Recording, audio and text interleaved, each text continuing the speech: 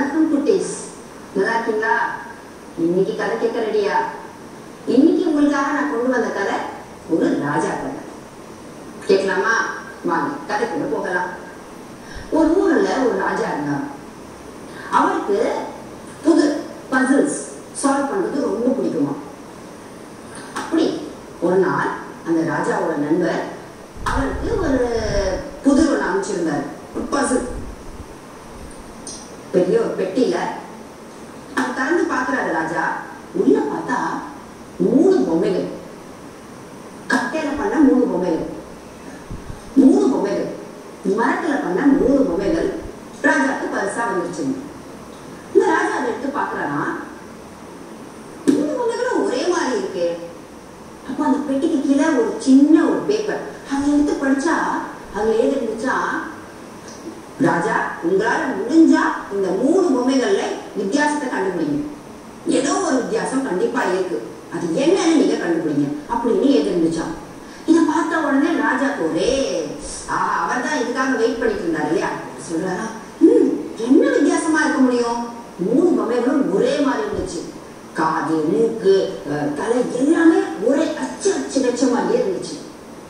அவரும் பார்க்கறா நிறைய நிறைய பத்தி யோசிக்கிறாங்க ஆனா அவரால் அவரால் ஒரு டிஃப்ரென்ஸ் ஒரு வித்தியாசம் கூட கண்டுபிடிக்க முடியவே இல்லை.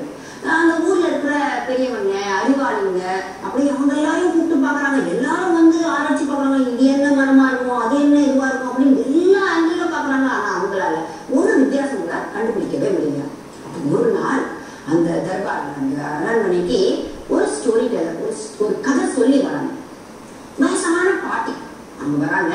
வந்துட்டு மகாராஜா நான் வேணா உங்களுக்கு உதவி பண்ணட்டுமா? அப்படின்னு கேக்குறாங்க. பாட்டி நீங்க இதுல என்ன உதவி பண்ண முடியும்? இங்க என்ன கதையும் கிடையாது. இது ஒரு புது ஒரு பசில் அதை சால்வ் பண்ணணும். அதை நாங்க வந்து ரொம்ப நாள் நம்ம பார்த்துட்டு இருக்கோம். எங்களால முடியல. உங்களால என்ன முயற்சி பண்ண முடியும்? ராஜா கொஞ்சம் என்கிட்ட கொடுங்க அப்படின்னு அந்த பாட்டி அந்த கதை சொல்லி கேட்கும்போது அந்த மூணு பொம்மைகளும் அந்த பாட்டிட்ட கொடுக்குறாங்க. உடனே அந்த பாட்டி இப்படி மூணு பொம்மைகளும் அப்படியே பார்த்த உடனே ராஜா எனக்கு ஒரு நூல் கொடுங்க. இவ்வளோண்டு இருந்தா போறோம் ஒரு சின்ன நூல் கொடுங்க. அப்படின்னு கேட்டாங்களாம். சரின்னு சொல்லிட்டு ஒரு சின்ன நூல் அந்த பாட்டிக்கு கொடுக்குறாங்க. அந்த பாட்டி எடுத்துட்டு என்ன பண்றாங்களா முதல் பொம்மை எடுக்கிறாங்களா எடுத்து அதோட காது இருக்கு இல்லையா காதுல ஒரு பக்கமா அந்த நூலை விடுறாங்களா விட்ட உடனே பார்த்தா அடுத்த சைடு அடுத்த காது வழியாக அந்த நூல் நூல் வெளில வந்துருச்சு. ம். மறுபடியும் அந்த நூலை எடுத்துட்டு ரெண்டாவது பொம்மையை கிளிக் பண்றாங்க. ஒரு காதுல விடுறாங்களாம் ஆனா ரெண்டாவது காதுல இருந்து வெளில வரல ம். அப்படின்றாங்களாம் அடுத்தது மூணாவது கையில் எடுக்கிறாங்களா? எடுக்கிறாங்களாம் அதே மாதிரி நூலை இந்த காதல விட்ட உடனே அடுத்த காதுல வரல.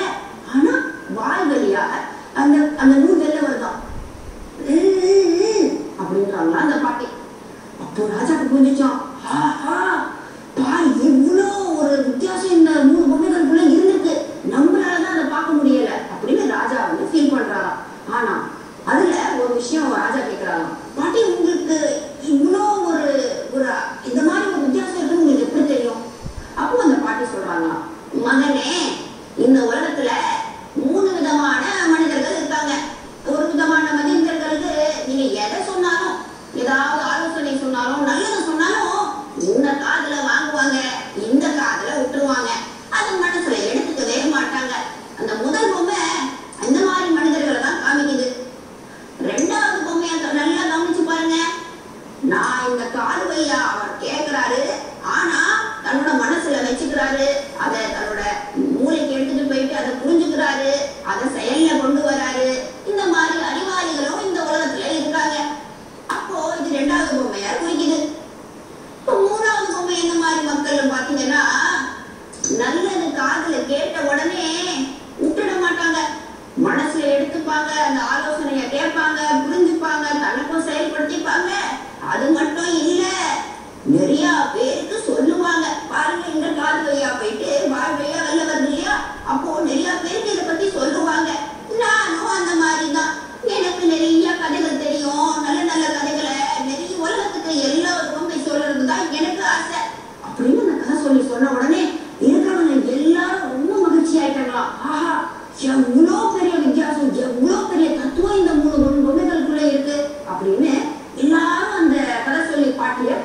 காரணம் மூணு பொம்மைகள் கதையில கேட்டீங்களா?